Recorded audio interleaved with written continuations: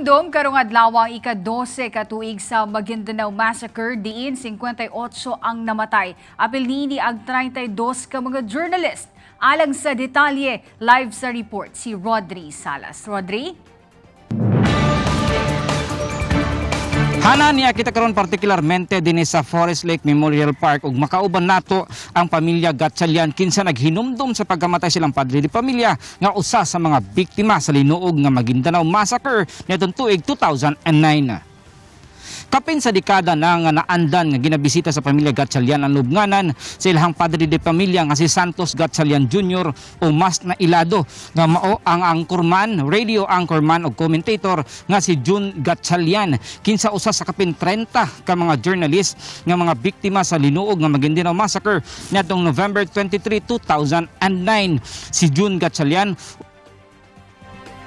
Davao nga biktima sa maong nga masaker. Gani kauban ni Ma'am Nenen Gatchalian ang asawa ni Sir June ang iyahang mga anak ug mga apo nga mihalad og uh, bulak sa lubnganan. Dayon mi sindi og kandila og midalit og mubo nga pag-ampok isip na lakip sa ilahang paghinumdom hinumduman sab niadtong niaging Domingo ang mga pamilya sa mga biktima sab sa Maguindanao Massacre dito sa General Santos City ang nagpahigayon og usa ka aktibidad isip commemoration sa Maguindanao Massacre. Og karon sang adlaw hapon gikatakda sab nga magpahigayon ang National Union of Journalists of the Philippines og usa ka noise parade ngadto sa kauluhan. Isip paghinumdom o commemoration sa Maguindanao Massacre og sa ilahasang panawag padayon nga panawagan og pakigbisog nga makabot ang hustisya alang sa mga biktima sa Maguindanao Massacre. Og bisan og 12 ka tuig na ang milabay.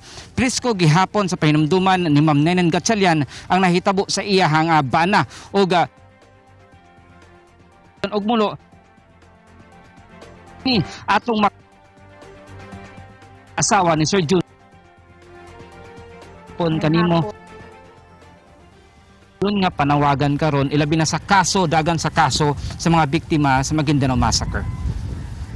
Ang gihatag nga decision partial Mm. partial decision pa to. So ang mga na, ang na convicto mga personal uh, principal. principal mm, mga principal suspects suspect to sila mm, pero na pa may uban gud nga wala pa nagyud ma Mm. madakpan nga at large pa to sila mm, mm, og napog apila dito sa Court of Appeal. So, Mm. ang gusto nako na matagaan gani og kanang decision good nga final kay partial man siya. So, mm, ang mga biktima, ang pamilya sa biktima, Mm. wala sila ma- madawat nga damages kay naa pa man continuous pa man tong Mm. ipasakal sa mga kuan nga sa Court of Appeals. mm, mm. Panawagan para sa mga pamilya sa biktima nga mahatagan na gyud og total bitaw nga kanang mahatagan nag damages kung maresolba na ang gitawag nila nga apela sa apela dito sa Court of Appeals. Okay. Ma'am, 12 ka tuig na ang milabay pero para ba sa imuha nadawat na nimo ang natahib, nahitabo sa imuhang bana ma'am mismo? Nadawat na nako kay nahitabo naman gyud to siya pero ang amo lang ang ako lang na ma- masulti na although na convicto na tong mga principal suspect Mm, mm.